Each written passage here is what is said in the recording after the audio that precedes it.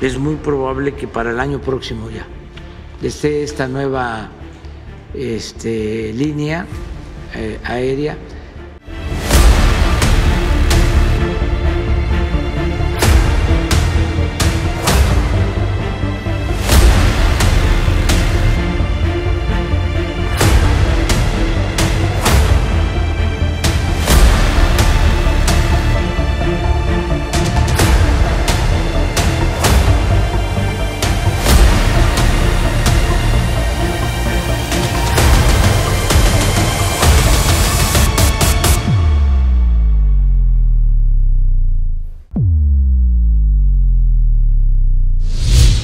El presidente de México, Andrés Manuel López Obrador, confirma que la Secretaría de la Defensa Nacional lanzará su propia aerolínea. El presidente de México confirmó los planes de la Secretaría de la Defensa Nacional para lanzar su propia aerolínea compuesta por 10 aeronaves, entre las que se encuentra el avión presidencial. Ya tiene unos meses que el presidente de México ha expuesto este plan, pero hoy la información fue revelada a través del hackeo masivo por parte del grupo activista Guacamaya y corroborada por el mandatario en la conferencia de prensa. El presidente Andrés Manuel López Obrador aclaró que ya había supervisado este proyecto en el estado de Yucatán y que es una buena idea para apoyar al pueblo de México y así tener conexión con más puntos en toda la República. De acuerdo con el primer mandatario, la empresa militar Olmeca Maya Mexica estará a cargo de la nueva aerolínea. Esta empresa operada por las fuerzas militares administra otras mega obras del gobierno como el Tren Maya, el Aeropuerto Internacional Felipe Ángeles, así como los aeropuertos de Tulum y próximamente Palenque y Chetumal. El gobierno entregará el avión presidencial a la empresa que operará un total de 10 aeronaves rentadas para el transporte de pasajeros. Se está haciendo el análisis económico de viabilidad y se contempla el avión presidencial, entregarlo a la empresa que va a manejar estos 10 aviones que no se van a adquirir, sino que se van a rentar. Por el momento se está buscando qué tipo de aviones es el más conveniente, con qué empresas. Todo esto porque hace falta que haya más servicios, fue lo que dijo el presidente en la conferencia de prensa.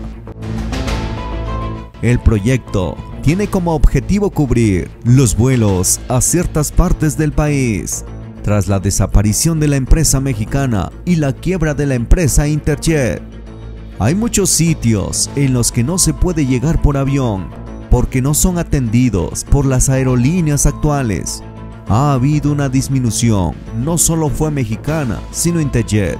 Se han reducido los vuelos de Aeromar hay ciudades en donde antes había vuelos y ahora ya no existen. El gobierno de México también anunció que el mismo gobierno federal dará facilidades para todo aquel que busque tener una concesión de la aerolínea siempre y cuando cuente con la solvencia económica.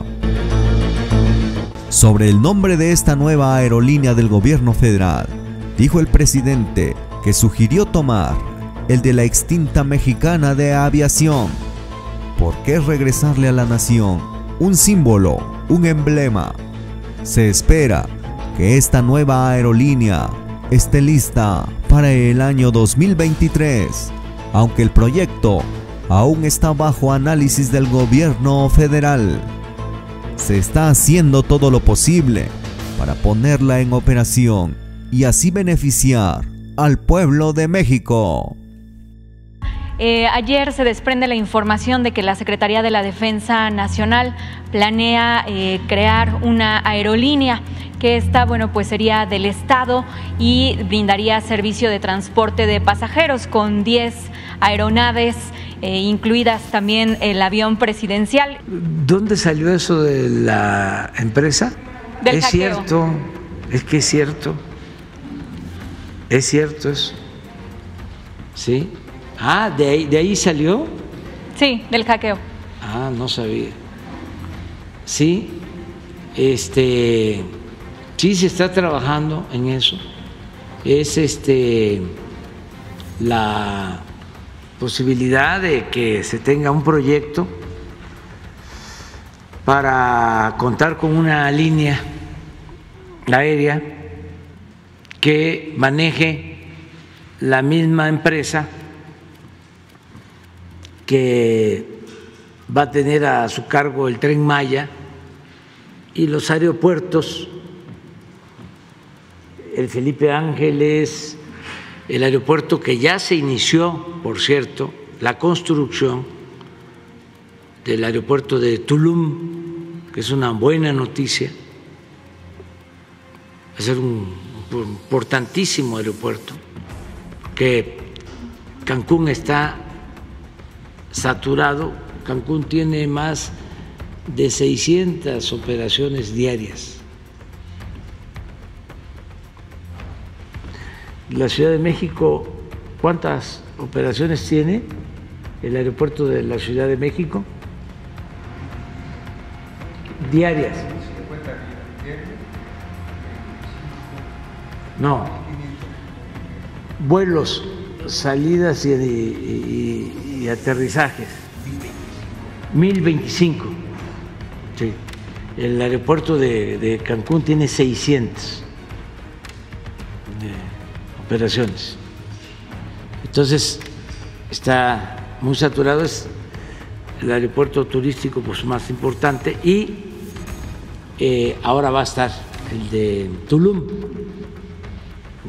que es un buen aeropuerto. Ya también eh, esta empresa que se llama Empresa Olmeca Maya Mexica va a operar el aeropuerto de Chetumal, el aeropuerto de Palenque, posiblemente uno o dos más. Entonces, es el tren Maya, los aeropuertos y se está pensando en la línea eh, aérea. Y sí, son 10 este, aviones. Este,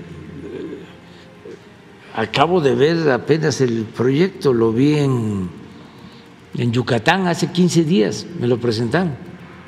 Se está haciendo el análisis eh, económico de viabilidad ¿Se contempla el avión presidencial también? Y se contempla el avión presidencial, o sea, entregarlo a la, a la empresa que va a manejar estos 10 aviones que no se van a adquirir, sino se rentan.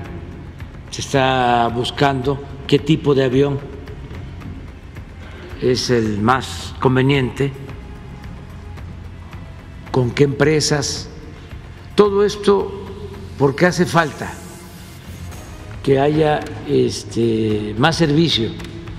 En el primer eh, análisis que se hizo, se habla de que es rentable la empresa, pero todavía no decidimos. Vamos a seguirlo tratando. Sí, eh, es muy probable que para el año próximo ya desde esta nueva este, línea eh, aérea.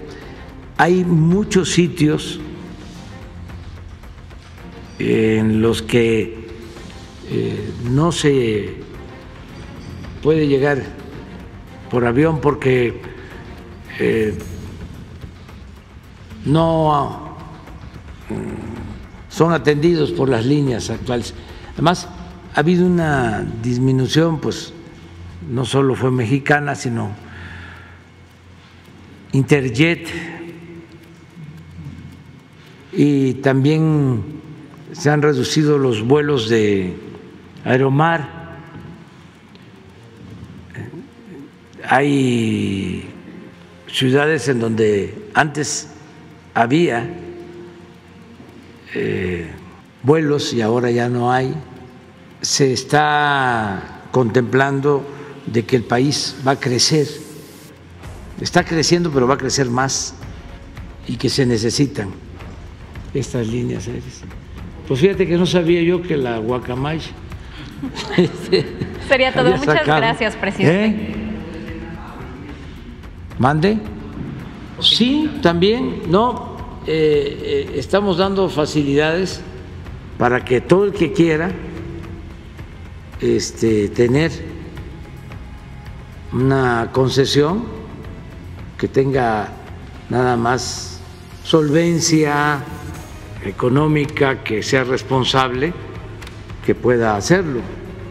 Sería muy bueno, pues ya como todo se sabe, pero lo ideal sería que fuese mexicana,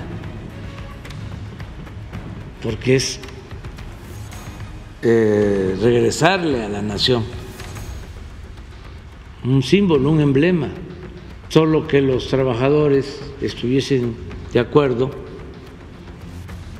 pues en recibir una cantidad o quien tenga la marca, hay que ver si a lo mejor es propiedad pública, hay que hacer la investigación, pero eso sería lo mejor, mexicana. Si no, pues algo que tenga que ver con México, desde luego. ¿no? Perfecto. Sería todo, presidente. Gracias.